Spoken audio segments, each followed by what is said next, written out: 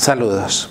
En este nuevo vídeo daremos unas pinceladas sobre el uso de la web semántica en educación. Debemos admitir que la web semántica es un ejemplo típico de sobreexpectación de tecnología, donde hay actualmente más promesas que aplicaciones tangibles.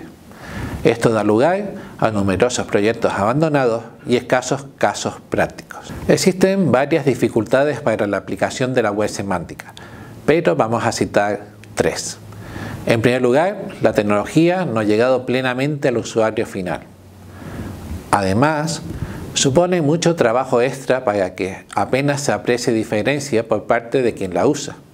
Y por último, más del 90% de la web actual es HTML, difícilmente aprovechable para la web semántica. Dicho esto, podemos indicar que posibles usos que se están empleando en la web semántica en educación son localizar recursos educativos mediante buscadores semánticos, crear o modificar unidades didácticas en base a nueva información presente en la web, determinar el próximo contenido a mostrar según los conocimientos previos o necesidades de aprendizaje del estudiante, enlazar contenidos educativos a través del contenido, clasificar grupos de alumnados para llevar a cabo un aprendizaje colaborativo y la utilización de material educativo, por ejemplo, a través de ontologías. Vamos a detallar algunas de estas propuestas. Sobre buscar contenido educativo mediante buscadores semánticos, su uso debería ser similar al de los buscadores eh, tradicionales. Sin embargo, nos encontramos con una situación algo distinta. Como en los demás campos de aplicación de la web semántica, hay varios proyectos abandonados e inactivos. Dos ejemplos de proyectos activos son Wolfram Alpha y EVI, cuyos enlaces pueden consultar en la sección de documentación adicional y que les animamos a probar.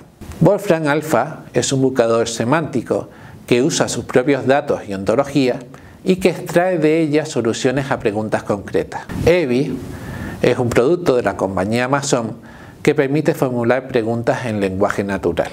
Otro sitio interesante en este campo es DBpedia, un proyecto para estructurar semánticamente la información contenida en Wikipedia y que pueda ser procesada por sistemas informáticos. También para buscar contenidos educativos existen sitios especializados. Suelen funcionar a base de asignar etiquetas o metadatos al contenido, lo cual facilita su búsqueda posterior. La web semántica permite establecer a partir de ellos conexiones en la búsqueda. Veamos un ejemplo. Supongamos que tenemos una presentación sobre yogures. Supongamos además que le asignamos únicamente esa etiqueta, yogur. Si nos encontramos en un buscador semántico, este sabrá que un yogur es un lácteo, hablando más propiamente que el concepto yogur es una subclase del concepto lácteo. Con esto, si hacemos una búsqueda sobre lácteos, esta debería incluir en ella la mencionada presentación.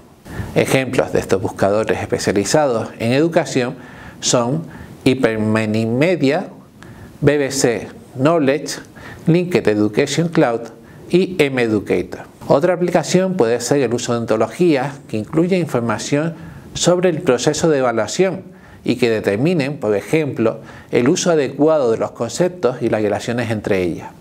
Así, si establecemos que un concepto A forma parte de un concepto B, podríamos detectar fallos en exámenes del estilo B incluye A.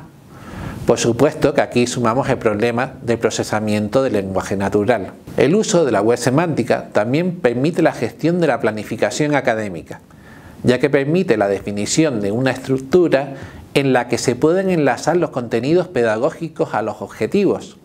Esto permite la actualización inmediata del perfil académico del alumnado y la gestión del orden en que se muestran los objetos de aprendizaje. Por último, en cuanto a la descripción del dominio de aprendizaje, una descripción más estructurada y detallada facilita el poder usar diferentes fuentes de información de forma automática. Esperamos que este vídeo haya sido de su interés y le animamos a consultar la documentación propuesta.